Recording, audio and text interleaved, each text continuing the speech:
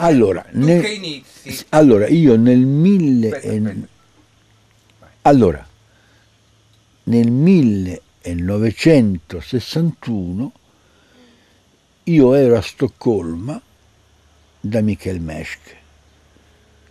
Ho fatto una stagione con loro, poi sono tornato a Parigi, dopo un, una- un passaggio a Roma per un festival di marionette e burattini, poi Michael mi ha richiamato nel maggio del 62 perché il suo gruppo era stato invitato a partecipare al Festival di Marionette Burattini di Varsavia e lui intendeva portare lo spettacolo dove io apparivo in scena. Io sono tornato dunque a Stoccolma per riprendere questo spettacolo dell'anno precedente e nel frattempo ho avuto modo di costruirmi la mia prima marionetta. La mia prima marionetta era una marionetta del tutto tradizionale con una sola differenza. La testa, invece di essere una testa, eh, diciamo, tonda o comunque, eh, era schiacciata da una parte in quanto io volevo rappresentare con la stessa marionetta la faccia di un vecchio e quella di un giovanissimo. Perciò mi bastava mettere la marionetta rispetto al pubblico di profilo che si vedeva una o l'altra faccia della stessa. Que- con questa marionetta io sono tornato in Italia passando per la Francia circa il 20 di, di dicembre del 62 e lì oh, c'erano i miei amici Nini Santoro, pittore, Nato Frascà, pittore, eccetera, e Nini Santoro mi ha proposto di, di omaggiare il critico e storico dell'arte Nello Ponente facendogli in casa uno spettacolino di una mezz'oretta per la notte di Capodanno 62-63. Allora, io felicissimo di poter subito esprimermi, ho preso una mia poesia che avevo scritto un- due anni precedenti quando ero a Stoccolma, una poesia molto, molto triste, molto, una poesia di una certa violenza perché mi ricordo io andai a questo Tivoli eh, c'era questa sala da ballo dove gli uomini pagavano una- un ticket per ballare, insomma mi sembrava una cosa, eh, io povero italiano provinciale, mi sembrava una cosa spaventosa, insomma che si dovesse prendere un ticket per poter ballare con una ragazza, devo dire francamente, mi fece una sensazione davvero, non l'avevo mai visto in vita mia. Allora scrissi questa poesia che era molto bella, era una bella poesia, era una bella, molto, con molto ritmo, eccetera, e, sulla- e su questa montai uno spettacolo di circa mezz'ora, al quale spettacolo parteciparono nella, nel- nella- nella- nella costruzione Nini Santoro e Nato Frascà. In sostanza fecero, fecero, sommato, fecero semplicemente un carousel, un carousel il quale al posto dei cavalli aveva quattro bamboline desnudas di plastica, di, no, di come si chiamava quella materia, insomma, va bene, desnudas, che però per il resto tutto proprio una- un, un carousel, capito, con, con il tetto, eccetera, che girava, tirando un, un filo girava. Allora, eh, la, insomma, la storia era molto semplice, che questa marionetta, poi però Nini mi ha molto aiutato con la musica, cioè dandomi dei dischi di, di musica jazz molto, molto, molto, diciamo, moder- molto nuovi, eccetera, eccetera, insomma, e poi il, il, il, il mezzo busto della RAI, del quale non ricorderò mai il nome, ma era il primo mezzo busto della televisione italiana, quello che leggeva i telegiornali la sera, mi lesse questa poesia. Io volli che lui la leggesse come leggeva le sue eh, i suoi notiziari senza nessuna enfasi eh, poetica, lo doveva leggere con lo stesso ritmo, lo stesso suono, la stessa voce con la quale leggeva i suoi notiziari. Io poi l'ho usato un'altra volta questo, questo sistema. Vabbè. E allora praticamente questo spettacolo era una cosetta molto semplice, si sentiva questa poesia, si sentivano queste musiche e il, la marionetta si mostrava una volta un vecchio bavoso che girava attorno a, questa, a questo carousel di donnine nude, va bene, ballando anche lui, e una volta si mostrava un ragazzo molto felice che, che insomma vedeva queste belle ragazze che giravano nel carousel. Ecco, era tutto qui, non è, ci fosse chissà quale, questa cosa, molto semplice. L'unica novità, se così si può dire, se così, eh, inciso, era che il manipolatore, cioè il sottoscritto, era presente in scena, cioè si vedevano le sue gambe. Io ballavo insieme alla marionetta, ballavo i ritmi della rumba, adesso non mi ricordo che, che, che altra musica ci fosse, al ritmo della marionetta. Va bene? Come la marionetta. Perfetto, questa questa è stata la mia prima produzione italiana e la prima rappresentazione italiana in casa dell'illustre critico d'arte e storico dell'arte Nello Ponente, con presenti, diciamo un po', gli avanguardisti della letteratura e della pittura di allora, cioè tipo Elio Pagliarani, mi sembra ci fosse anche Giuliani, poi c'era, Diego, c'era Gastone Novelli, c'era Perilli, insomma c'era forse Turcato, adesso non mi ricordo, non mi ricordo, sono passati tanti anni. Da questo siamo passati al 62 al 1963, va bene? E io che ormai avevo 31 anni, ho cominciato a domandarmi cosa faccio da grande? Quindi, senza tenere conto che già avevo dieci anni di militanza di lavoro come, come redattore, come manovaggia, eccetera, ho dovuto ricominciare la vita di nuovo. Che significava ricominciare la vita? Trovare un lavoro, e insomma. Nel frattempo avevo conosciuto Gabriella, la ragione per la quale non sono tornato a Parigi è proprio lei. Io incontrai Gabriella, io dovevo tornare a Parigi, incontrai Gabriella e rimasi a Roma. E allora feci un progetto volevo aprire una scuola di marionette a Roma. Va bene? Feci questo mio progettino, andai a trovare diversi amici, conoscenti, amico dell'amico, eccetera, eccetera, ricevendo da tutti calorosi consensi. Ma che bella idea, ma che bella cosa, è proprio quello che mancava, ci voleva proprio una scuola di marionette, badabum, di bim, da. Chiamami domani, chiamami domani, telefona, ci sentiamo, ti vedrò, ci incontriamo. Io telefonavo, ah sei tu, benissimo, chiamami, insomma.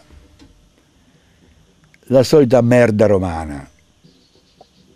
E non se ne è fatto niente. Però io avevo capito una cosa a Parigi L'avevo capito in quanto a Parigi funzionava il teatrino, il teatrino de Poche di Ionesco.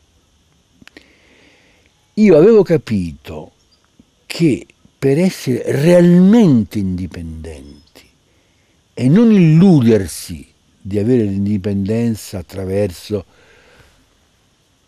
aiuti di amici, capito? Bisognava che io me la spicciassi da solo. Cioè dovevo trovare uno spazio, dovevo trovare i soldi, dovevo mettere in azione questo spazio. Ora io lo spazio l'ho trovato, non so ancora oggi dove ho trovato i soldi. Giuro, non lo so, non so chi me l'ha dati. Sì, no, so che mi sono sposato con Gabriella, la mamma di Gabriella ci ha dato 500.000 lire come dote e una parte di questa dote è stata data in anticipo alla signora Schiavolena per avere lo spazio di, via, di Vicolo delle Orsoline, dove è nato il primo teatrino off, off in Italia. Orsoline 15.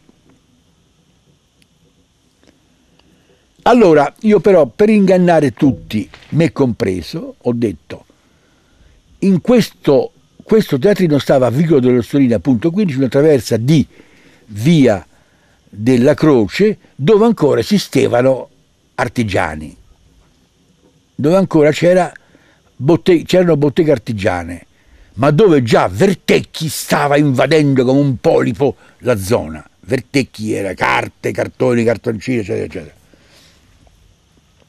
Allora io, eh, per ingannare il prossimo e me stesso, mi sono detto apro un locale dove faccio le cornici per vivere e intanto metto su questa scuola di marionette. Va bene? Tutto questo era una, una podrida, eh? una, come si dice, non ricordo in spagnolo, una, una, una menzogna podrida, mentira. una mentira, una mentira podrida, perché io non ci pensavo per niente di mettermi a fare il, il corniciaio, perché il corniciaio l'ho fatto a Parigi per poco tempo, perché voglio dire, fatti i contingenti, se no chi andava? Io facevo il redattore. E ho fatto infatti però, attenzione, ho fatto delle cornici per la Cardi, la Pitrina. Infatti noi a casa abbiamo un quadro della Cardi perché lei non mi ha pagato, mi ha pagato con un suo, con un suo eh, quadro, bello, che è molto carino, molto, molto bravo. Bello, appunto, e basta, finito. Invece ha avuto questo spazio, intanto devo fare un passo indietro, che è importantissimo. Aspetta quando io ero a Stoccolma la prima volta, cioè da febbraio a giugno del 1961, ho fatto la conoscenza con uno scultore cinetico che si chiamava, o si chiama ancora, spero, Henri Kramer. Questo scultore tedesco, tedesco che però era a Parigi, lui stava a Parigi. Questo scultore cinetico in aprile del 61 è venuto a Stoccolma con un suo, chiamiamolo spettacolino, non perché fosse in senso dispregiativo, perché era piccolo, era, eh, ed era, che era fatto con delle sue sculture cinetiche, dunque che avevano un moto proprio eh, e delle marionette marionette, non proprio, erano delle marionette che facevano pensare molto a Klee e Kandinsky, erano delle forme antropomorfe che in qualche modo somigliavano eh, molto molto distanti all'uomo, alla donna, eccetera, però eh, erano disegni di, io sono sicuro che lui si fosse ispirato a Klee e a Kandinsky. Benissimo.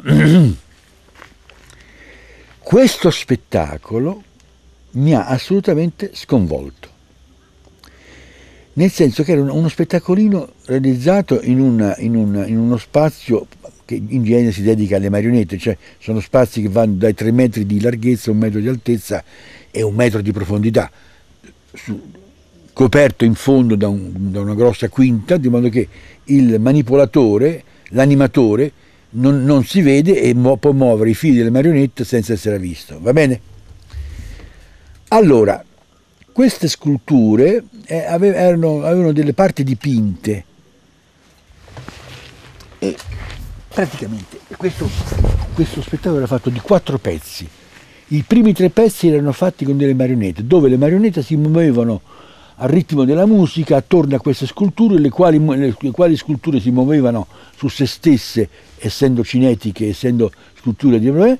e tutto sommato era veramente attraente, era una cosa veramente mi tutto era basato sul movimento, le luci, una sapientissima colonna sonora, insomma un'ora di spettacolo che ti teneva avvinto e dove in effetti non succedeva niente.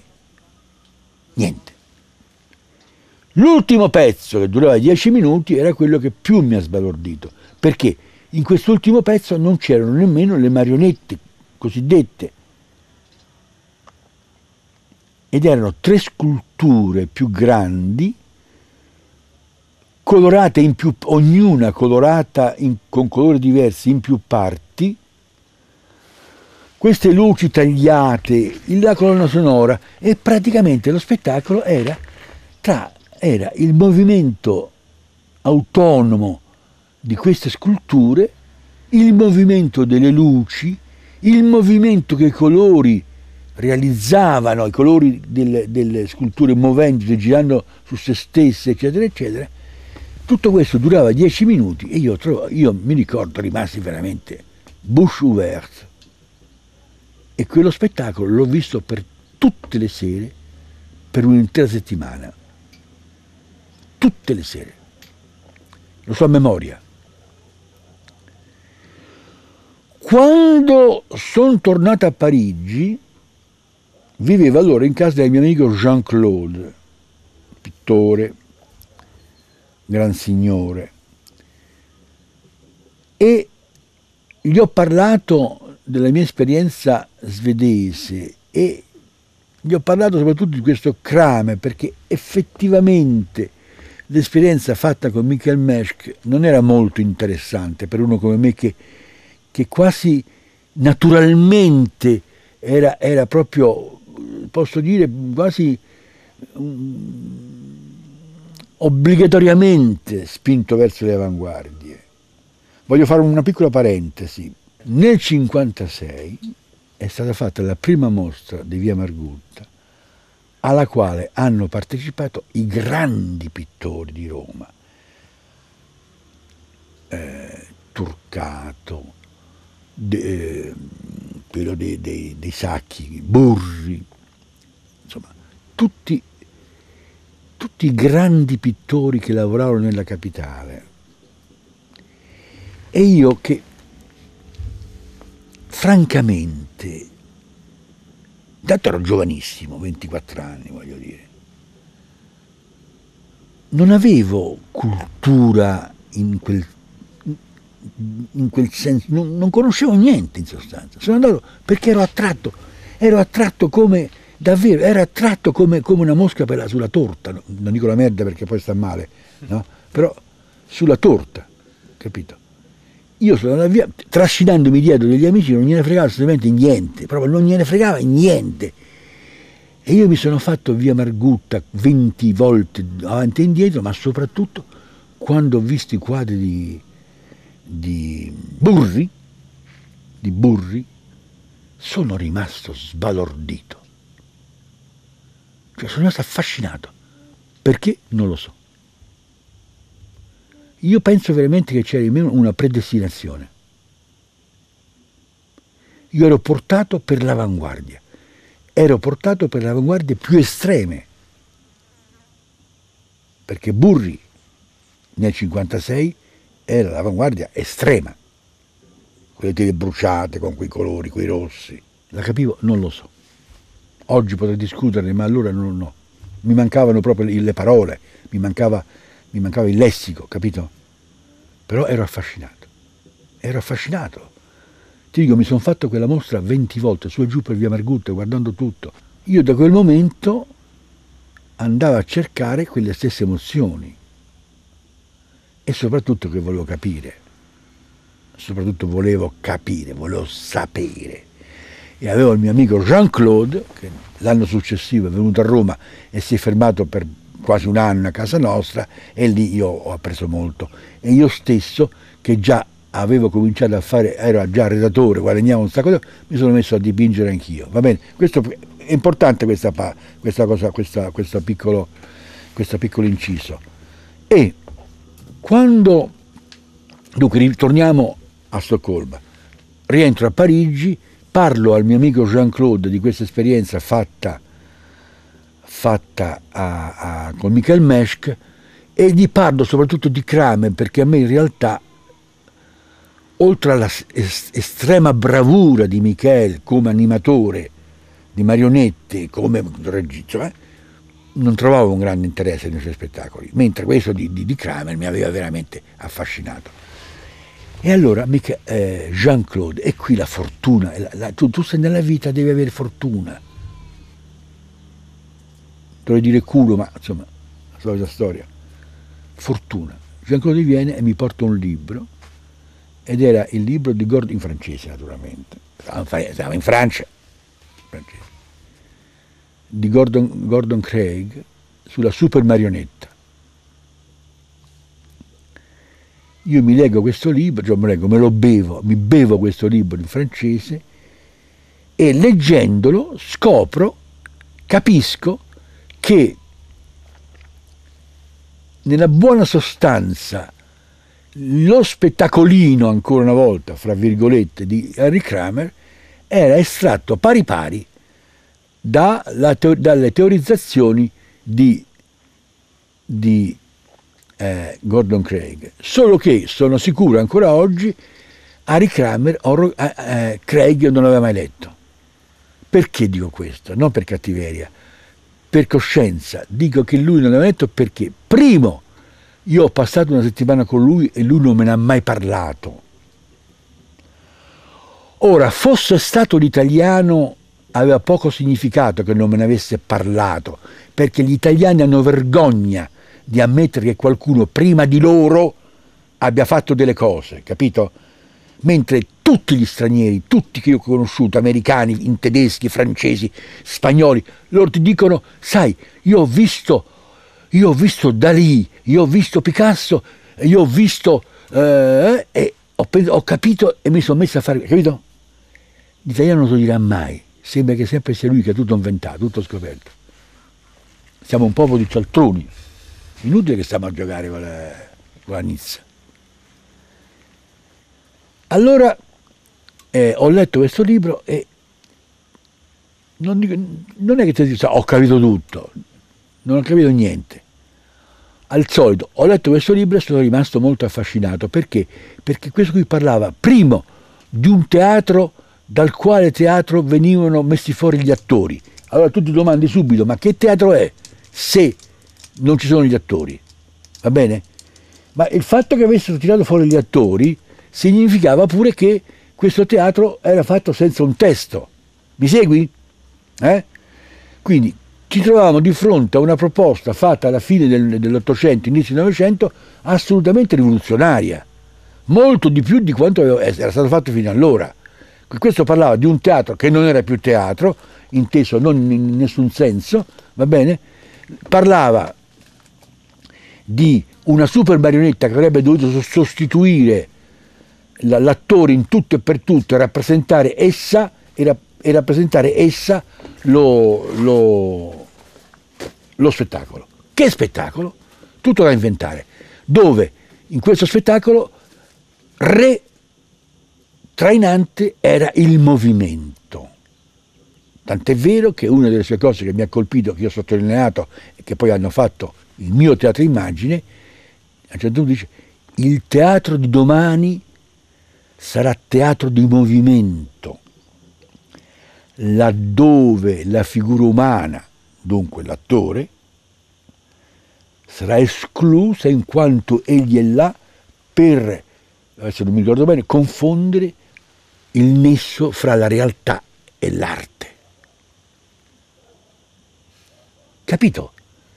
Questa è, una, questa è, un'intuizione, perché tu arrivi a questi, arrivi a questi limiti quando non, non attraverso, questa è un'intuizione, lui ha visto, ha visto, perché lui questo teatro non l'ha mai fatto la super marionetta non l'ha mai costruita.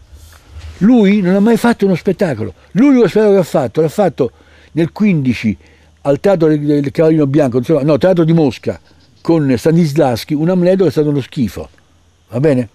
Mm?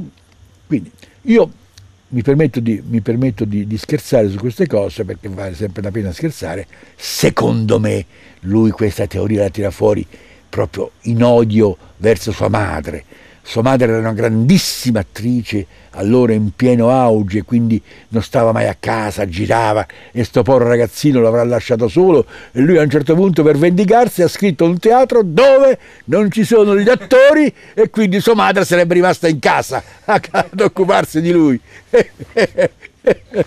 ma tutto questo non è che io ho detto, oh, ma non è che ho letto questa cosa, adesso io Niente, questo io l'ho immagazzinata, come tante altre cose della mia vita, l'ho, l'ho immagazzinata. Perché siamo ancora, quindi siamo nel 61 ancora.